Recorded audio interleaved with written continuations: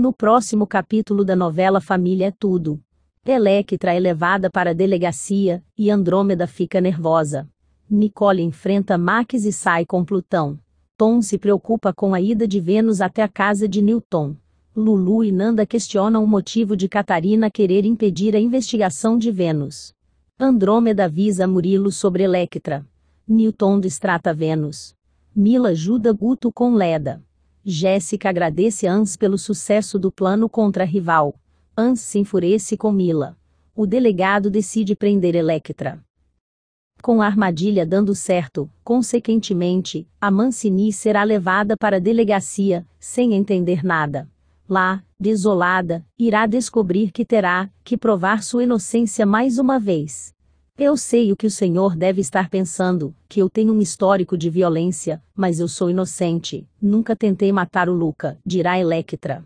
Teve investigação, julgamento, todas as evidências estavam contra você e você ainda insiste nessa conversa de que é inocente, responderá o delegado, acusando a moça.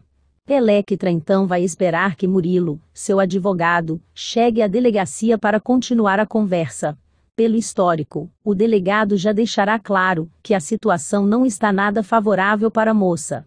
No entanto, o que ela não espera é que possivelmente terá que passar outra temporada no Chilindró, levando-se em consideração que a sua cliente está em liberdade condicional por um crime de alta periculosidade e que uma infração criminal pode levar à perda desse benefício, eu decidi que ela ficará sob custódia até que o juiz competente avalie o caso, dirá o delegado.